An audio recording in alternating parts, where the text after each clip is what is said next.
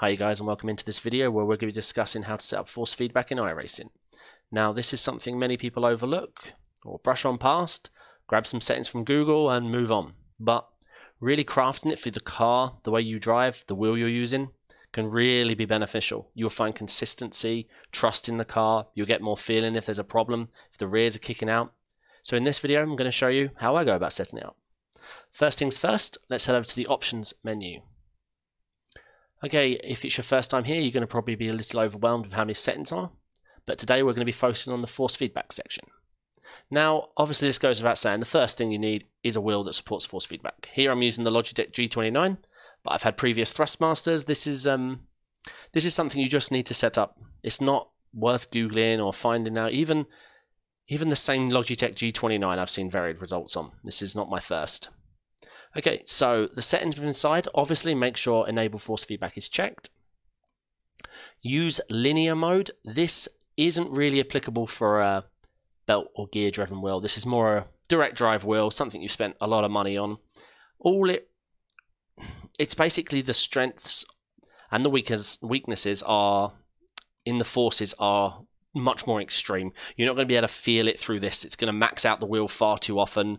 The only way to be it would be to dampen down the settings so that you're not feeling the, the, the weaker forces. So anything like this, anything sub, let's say five five hundred dollars, you're going to want to leave it unchecked. Okay, reduce force when parked. This really all it does when the car's not in motion or in a pit stop or you've come to a stop, the forces are reduced massively. Now, I'm seeing mine is unchecked. Some cars I leave it checked. I'm sure you must have seen it or experienced it. The car rocking back and forth because you're leaning on something dodgy or there's a bit of damage in your car, but something's not right and it gets unsettled, or if you're hit when you're motionless. Um, th- this is really this is a setting really up to you. This isn't going to help performance at all. Now let's skip over strength. I've actually set that to a a more incorrect number for my car and the track, just so it's something we can work on. But we'll come back to that. That's more of a visual thing that we have to do within the car. Wheel force, probably the easiest of all the settings. All you really need to do is find out your wheel's max force in Newton meters. Now, this is actually something you can Google and get something helpful. Um, so a direct drive wheel is going to have this a lot higher. Um, basically, just find out from your manufacturer, from the instructions from the website, what your wheel's maximum Newton force out uh, outputs. Um, set it here. This helps iRacing break down the outputs from the software to your hardware, and if it knows the correct number, that's more beneficial. Okay, dampening. Now, zero would be the most realistic. You would be getting an accurate representation of the exact feeling the car is going through in an exact moment it's feeling it. Now, while that sounds perfect, it can lead to more extreme cases. It's you also want the inputs to be quite smooth. Now, I'm not suggesting having this anywhere near 40 or more percent at all, but especially on our let's call these the cheaper end of the wheels, your belt gear driven wheels. It's nice to have the feeling of friction, a little bit of smoothness. Now, I have mine at 15%. I would recommend anywhere between 5 and 15. I mean, give 0 a go if you want. Um, but that's a nice ballpark for you guys to try finding your happy state. Do a couple of laps in it, see how you feel, change it up from 5, say to 15, make the jump, see how it feels. I quite like this F3 at 15. Now, I say F3 because one thing you need to remember, this these settings I've mentioned so far are for your wheel, whether it's enabled or not, the wheel force, the dampening, and the minimum force. Pretty much all these things are across all of your cars. Now, strength, the one we're going to be covering next, is per car. Um, it could be per car per track. Now, I've set mine incorrectly just so we can do a couple of uh, laps and I can show you how I'll go about setting the correct number. Um, but first of all, let's talk about min force. Min force is probably the one that people get wrong the most. This literally is what iRacing is sending your wheel. There will be certain percentages or levels of strength that your wheel won't notice. Now, a high end direct drive wheel, 1% um, force, the wheel's probably going to react to.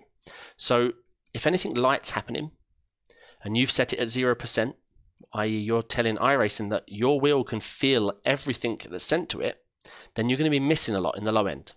Now, this isn't something you can get from feel or driving around. I wouldn't recommend anyway. You're probably going to spend way too much time.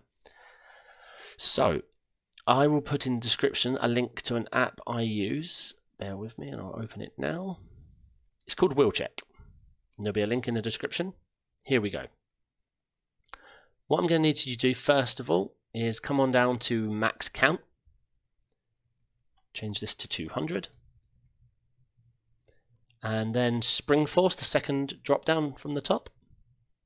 Scroll down till you see step log 2, linear force test. Okay, once you click that, keep away from the wheel. What this is doing right now is sending small movements to the wheel in hope that the wheel will move and it then it will record how much force it was sending th through at the time and break that down into percent for you so we can determine what the best setting for your wheel is going to be. So we just wait. It can take anywhere from about 30 seconds. It's going to feel like it's not working. There's no go button on the software. There's nothing really to um, kick it off. But once you've picked it, it kicks into action. Hence why I, sent the, I set the max count of 200 first. There you go. I just noticed the wheel moving. Yep, you can see that in the stream. Okay, once it starts moving, we can close the force feedback test, the wheel check app. Okay, now we've got that closed. We head over to Documents. Let me bring that over. Okay, and what we're looking for here is this log file it's just created. You're going to to open that up in Excel. Well, anything really, it's just a CSV file.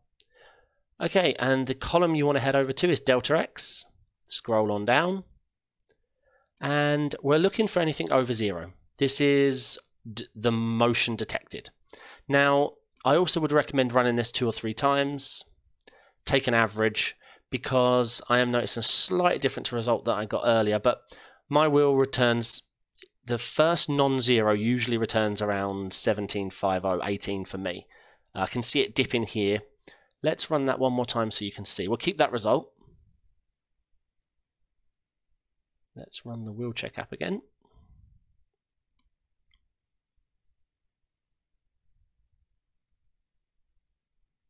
Okay, set a max count to 200. Change the spring force to linear force test. Let that run. Try not to touch the wheel while this test is happening. And one thing I've noticed after running this app, after getting all the settings, we're going to want to restart iRacing. Um, whether it's just a Logitech thing, but after running wheel WheelCheck, iRacing can have issues applying any force feedback. Um, I think where WheelCheck takes over the the wheel, so iRacing loses its connection. But it's not a problem. You're only going to need to run this WheelCheck up once, once you set up your new wheel, or an old wheel you never set up. And we're just waiting for it to move. Sometimes you can feel this isn't working. There you go. Can you see that? Yes. Okay, let's close the app down. Once again, head to Documents. Now we have two log files. Let's open the new one. Scroll on down, and it's the Delta X column we want. And once again, see, that's what I thought, 1700. Now, for you, uh, obviously I've run this test many times, but run it quite a few times. Now, the number on the far left is the remove the last two numbers. The first two is the percent you want. So, so sorry, 16%, 16.5, 17%. So I obviously killed it. I closed the app when it hit 19, so we didn't get any further results because we're looking for minimum, not maximum. So, so 17 is our number here. Now another test to run that I also find informational is we want to run the wheel check app again. However, this time we're going to change the spring force not to step log 2 linear force test, but to min force.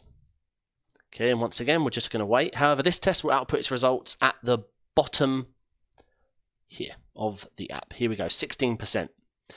So what I like to do, because I'm this app is quite old. I mean, it's been worked on for a very long time, but I like to find a number somewhere between the average I get from the sheet and the average I get on that.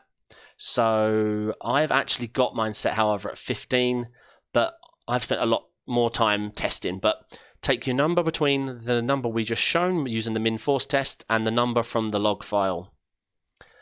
And it should be good. Okay, let me just restart iRacing. Bear with me one moment.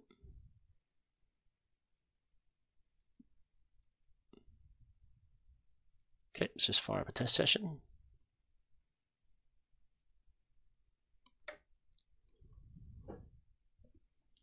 What we're going to do now is work out the strength. Now this is something that's per car. Now it can be per car per track, but not hugely. Really only if there is some heavy bumps or something with the track that makes it unique. But really finding that perfect number, you're going to be fine. Um, I tweak it here and there depending on the feel I get of the wheel, but this will just give you a great baseline to use for the car. Now one more thing before I set strength I want to show you. Come on iRacing. Now I would recommend restarting iRacing after you do your wheel check and make sure wheel check's, closed. It just seems to remove iRacing's control over your wheel. As I say, whether that's just my Logitech, but I think it used to happen on my Thrustmaster as well, same problem. Come on, almost there. Okay, so we'll head over to options. Now, strengths per car. So you want to make sure that use custom controls for this car is checked. Otherwise, you're going to be fighting this setting over and over again for every car you jump in. So strength you might set to around 11 in the F3, whereas in the Mazda it might be 8. But you, if you have this checked, you won't have to worry that changing car is going to affect the setting. You're going to find that nice balance for each car and the setting will stay this uh, will will remember what you had it for for that car. Okay, so what we're going to do is jump into a test.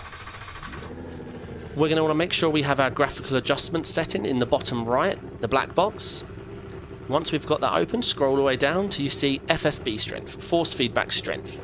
Now this is where we get to drive the car and do something. Now if you've mapped a button for applying um, settings on the uh, black box, that's great because you can do it while driving. Otherwise, it's just something. An auto button is going to appear to the right of that 6.7, far over to the right. But what we want to do on these two test laps, we want to stay off the curbs. We want to just find a smooth couple of laps. You can still push, but try and find without bumping on curbs, without making any major spins. I mean, choosing F3 with the cold tyres wasn't my great choice, but I want to show you every car if I can. Okay.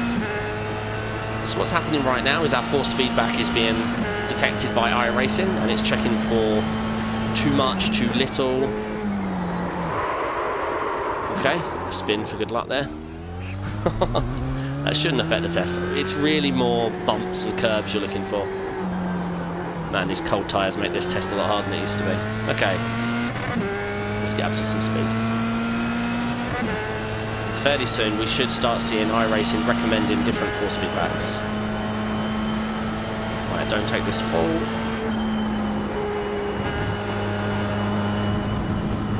Oh, gently on the curb. But as I say, try and avoid them. Especially anything heavy. There you go. In the bottom right, you're seeing the auto button, so let's select it.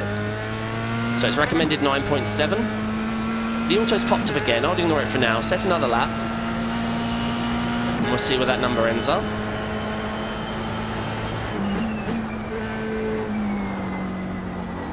Man, I should not be looking at the black box. Okay. Now don't get obsessed with the auto button once you've done a couple of laps. It's always going to recommend ups and downs depending on what part of the track you're on. But the average or wherever you find it. So let's set that again. Now it's recommended 10.3. Now, the setting I changed away from, let's get out of the car. The setting I changed away from was 10.2, so I'm really happy to see that. Now, let's come out of the car and head over to options where you're going to see that number set. There you go. So I had it. I've been running the F3 all season at 10.2. It's recommended 10.3, which is great. Shows this is working. So it's the setting you do last. Once you've got your wheel force set, your dampening set, your min force set, set up your strength, do a couple of laps. iRacing will try and best recommend. If you hit a curb or anything major happens, that's fine. Just restart, head back out, an iRacing will recommend. You can carry on, but it's it's taking an average of the lap, so you really you want it to be a clean, nice lap. Now, why am I avoiding curbs? Because you want your curbs to have the extreme force feedback feeling. You don't want that on the edge, almost clipping to maximum during usage during normal race conditions. It's something you want for the extreme to make sure you're detecting something that's not perfect. You know, heavy feeling into the curbs, and yeah, um, it will really help. It will really help with consistency. Um, any questions, guys? Anything you didn't understand? If you've got a custom wheel and it's not working for you, hit me up in the comments and I'll do my best to help. All right, guys, I'll catch you in the next one.